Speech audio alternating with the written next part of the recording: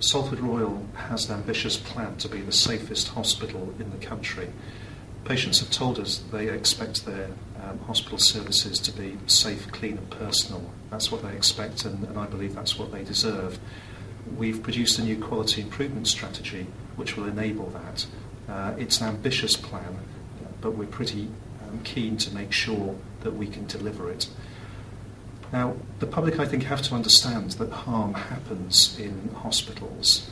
Um, they're generally safe places to be, but unfortunately, mistakes happen.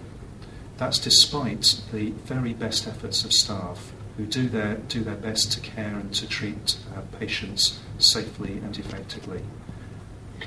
We've got an ambitious plan of projects to reduce harm and to make the care that we provide in the hospital safer.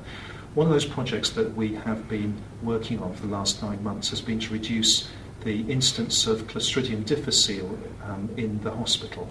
This has been trialled on eight wards in the Ladywell building of the hospital, and the results have been phenomenal.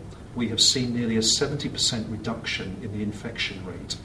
This has come about because staff have worked together to, to look at ideas that they can put in place that the hospital management and the clinical teams have supported, and we've enabled that improvement to be made. And we're now just we're now in, ready to uh, spread that scale uh, of improvement across the whole of the hospital.